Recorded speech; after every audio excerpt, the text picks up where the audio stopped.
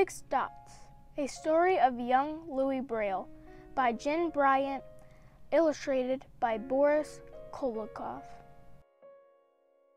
On the day I was born, Papa announced me to the village. Here is my son Louis! The neighbors came, clucking their tongues, whispering, Too small, he won't survive. Oh, but I did survive. I was a curious child, and my eyes studied everything. Maman's gentle face lay draping my cradle, the smooth shape of a bread loaf on the table. I grew strong and healthy.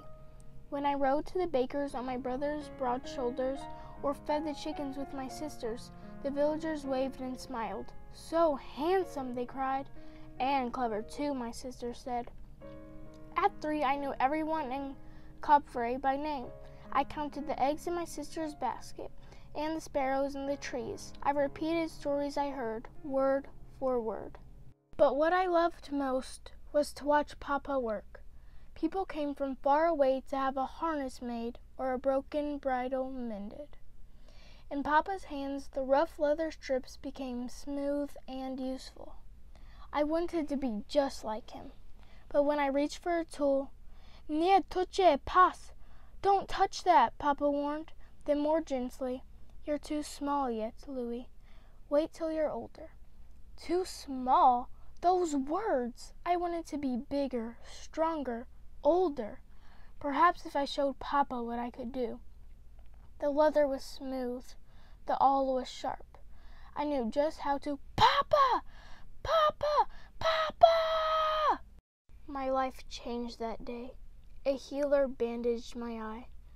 Again I heard "Nie touche pas." Don't touch.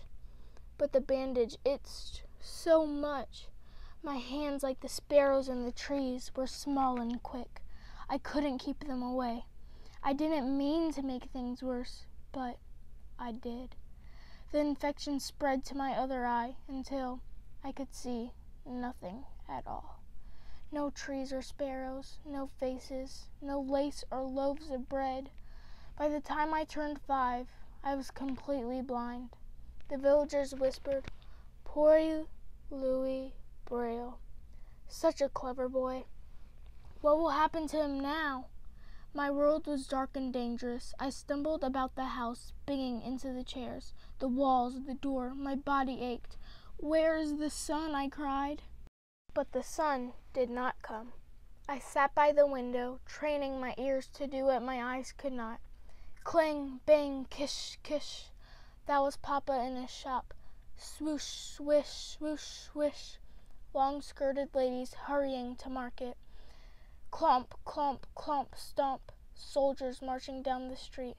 Grr, grr, roof, roof, grr. The neighbor's angry dog chained too tight, alone in the dark. I knew just how he felt. My family did what they could. Papa made a wooden cane. Each day I walked a little farther, tap, tap, tap, tap, tap, tap, counting the steps between the house and the garden, the vineyard and the chicken coop, the baker's and the miller's, and back to Papa's shop. My brother taught me to whistle and when the sound echoed back, it warned me of things in my path. My sisters made a straw alphabet. Papa made letters with leather strips or by pounding round top nails into boards. With Maman, I played dominoes, counting the dots with my fingertips. The village priest taught me to recognize trees by their touch, flowers by their scent, and birds by their song. I listened closely as he read to me from the Bible and from books of poetry. Do you have books for blind children? I asked. No, Louis, the priest replied. I'm sorry. When I was older, I went to school with the other village children. All day, as they wrote down words and numbers or read out loud from printed pages, I sat in the front row, listening and memorizing. Do you have books for blind children? I asked again. No, Louis, the teacher replied. I'm sorry. But I didn't want people to feel sorry for me. I just wanted to read and to write on my own, like everyone else. The Marquise, a noble lady living nearby, heard about me. She wrote a letter to the Royal School for the Blind, asking if I could study there. Finally, a reply came. Bienvenue. Welcome, Louis. The priest says they have books for the blind, I told Papa excitedly. But you're only ten, Maman cried, and you'll live there for most of the year, my brother added. Paris is a big city, far away, my sisters warned. How could I make them understand? Without books, I would always be poor Louis Braille. I would always be held back like that dog chained too tight. I love you, I told them, but I must go. I didn't need my eyes to know that the royal school in Paris was not a palace. My hard bed was in a damp, crowded room. My uniform itched. My meals were small and cold. The teachers were strict. The older boys teased and stole. How I missed my home! And yet I stayed. I stayed because somewhere in this old, moldy building there were books for the blind. Only the best students are allowed to read them, my friend Gabriel told me. Then I will be one of the best, I replied. Learning at the blind school was almost like learning in Coupvray.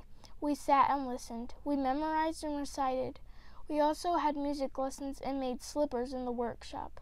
As my fingers flew across the organ keys or between the strips of cloth, I dreamed of reading and writing. I worked and studied as hard as I could. Finally. It was that day. A guide led me to the library. Azia Aziavuchichi, sit here, he commanded. There was shuffling, grunting, and scraping. A thud. Voila! There it is, he said. Just trace the raised letters with your fingers.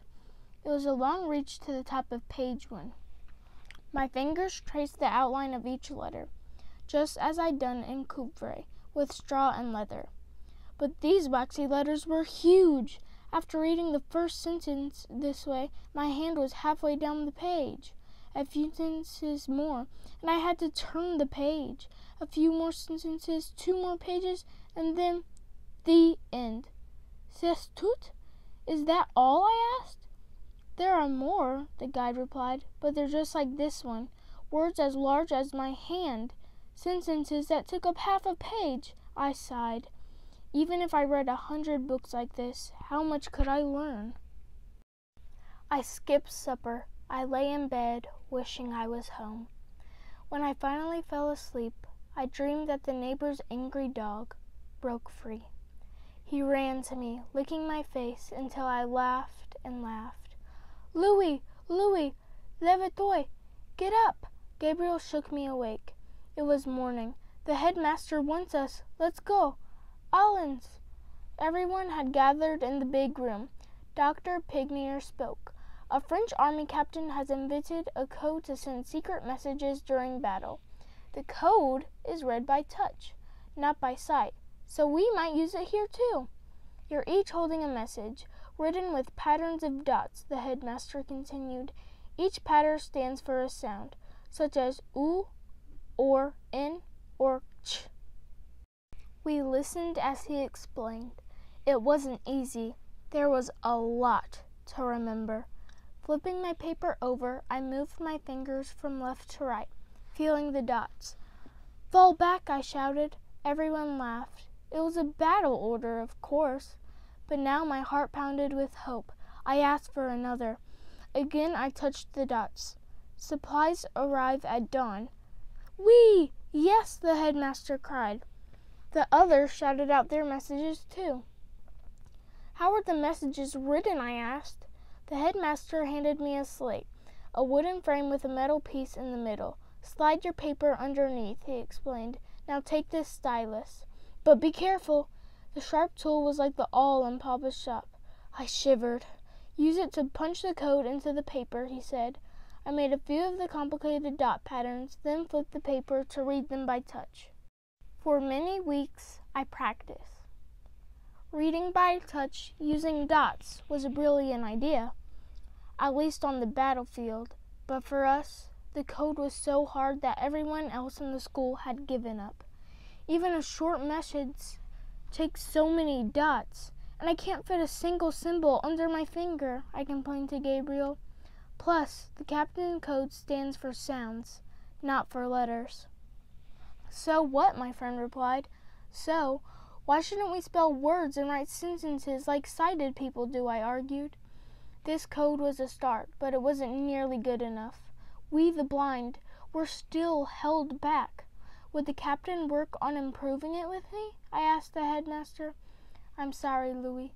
He isn't interested, he replied. Sorry. That word! Long ago I had watched Papa take rough leather strips and make them useful. Now I knew what I had to do. Late at night, while the others slept, I bent over my slate and punched the pages. I tried hundred of ways to simplify the captain's code. I worked until my back was stiff and my fingers ached. Often I fell asleep a few minutes before morning. A year passed, then another, and another. That winter I turned fifteen. I was often sick, but I would not rest. Finally, it was ready to test. I asked the headmaster to choose something from his own library, a book I'd never heard of before.